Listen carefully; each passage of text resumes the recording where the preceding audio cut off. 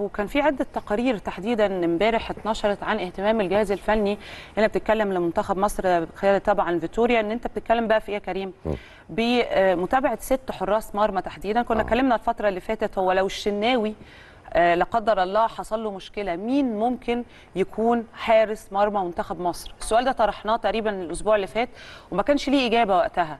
فأنت دلوقتي بتتكلم إن المفروض في ست أسماء مرشحة وبيبتدي يركز معاها فيتوريا علشان نفهم اللي جاي إيه. هل ممكن يكون فعلا في حارس مرمى لمنتخب مصر بنفس قوة مثلا محمد الشناوي في فترة ما ده مهم جدا. مين بقى الست حراس؟ عندنا عندنا أحمد الشناوي طبعا من بيراميدز عندنا محمود جنش من مودرن فيوتشر وعلي لطفي من زد ومحمود الزنفولي من الداخلية ومحمد بسام من سيراميكا والهاني سليمان من سموحة. وأعتقد كل اسم منهم وإن لم يكن الست أسامي بس كل اسم منهم برضو نتذكر ليه أداء رائع جدا مع الفريق بتاعه في فترة ما طبعا ومش عن علي لطفي طبعا لاعب الأهلي السابق يعني.